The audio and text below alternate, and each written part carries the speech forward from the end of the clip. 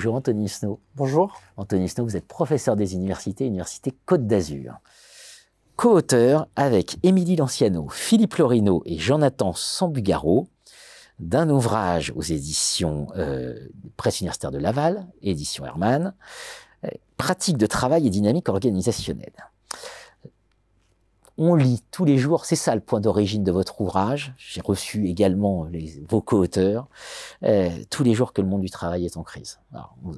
en tout cas, ce qui est sûr, c'est qu'il est dans toutes les têtes, entre la retraite, l'avenir du travail, à l'ère de l'intelligence artificielle, etc. Finalement, si on devait caractériser cette crise, entre guillemets, du travail, qu'est-ce qu'on dirait? Je dirais que cette crise, euh, elle est plurielle, elle se manifeste de plusieurs façons. Hein. il, y a, effectivement... Euh, euh, on voit une augmentation du taux euh, d'absentéisme, euh, on voit un, rejet des, réformes, de toutes les réformes hein, liées au, travail, notamment la réforme des retraites, qui était finalement aussi une réforme du travail. Bien sûr. on voit une partie importante des actifs qui, veulent se reconvertir, une augmentation donc, des, arrêts maladie. En, en, somme, si on devait retenir un ordre de grandeur, c'est à peu près un Français sur deux qui aujourd'hui n'est pas satisfait par sa vie professionnelle. Ça en dit très long. Hein. ça, nous fait penser à la quiet démission, hein. mais évidemment, c'est vraiment un symptôme très très fort. Euh, dans le monde du travail, concrètement, comment ça se traduit, ces symptômes? De mal-être au travail alors, ça se traduit de façon, je veux dire, il y, a des traductions un peu euh, euh, classiques, traditionnelles. Il y, a des grèves, euh, il y a des personnes qui vont, qui vont démissionner, vous l'avez dit, il y a une augmentation. Alors, il n'y a, pas cette grande démission dont on a parlé, mais en tout cas, il y a une augmentation du nombre de démissions, ça c'est vrai. Euh, il y a dans certains secteurs, hein, il, y a, des secteurs qui ont, du mal à recruter, dû notamment au fait des mauvaises conditions de travail. Hein.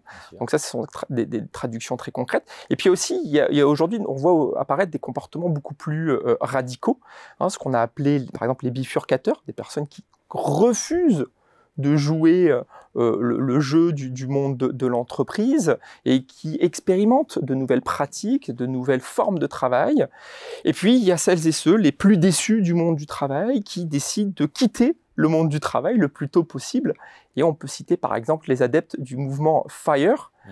euh, qui est, dont, la méthode consiste à économiser le plus d'argent possible, à investir cet argent pour ensuite vivre le plus tôt possible des rentes de cet investissement.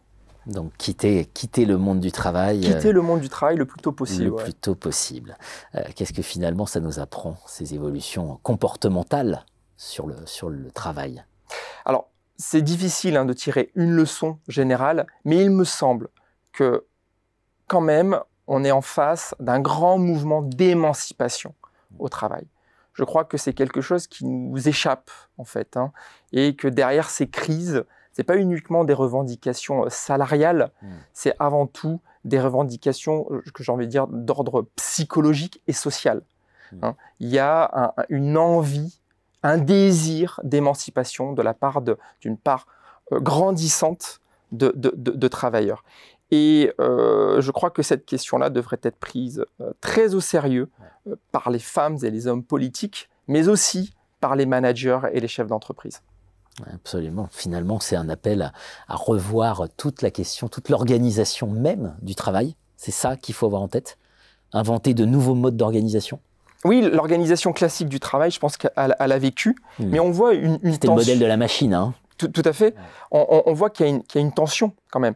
L'exemple du télétravail, je me semble, est, assez euh, euh, symptomatique de, cette tension. D'un côté, on a des travailleurs qui, qui désirent rester euh, en télétravail, qui, qui, veulent pouvoir euh, conserver cette flexibilité, cette autonomie gagnée à, l'occasion de la pandémie de Covid-19. Et de l'autre côté, on voit un certain nombre d'entreprises, de managers qui souhaitent le retour, des salariés euh, au, au, bureau. Et il y a une forte tension là entre, d'un côté, des travailleurs qui, qui, souhaiteraient voir émerger un nouveau modèle d'organisation du travail, et de l'autre côté, des managers qui ont plutôt un, réflexe qu'on pourrait qualifier de conservateur et qui souhaiteraient revenir à l'organisation du travail classique.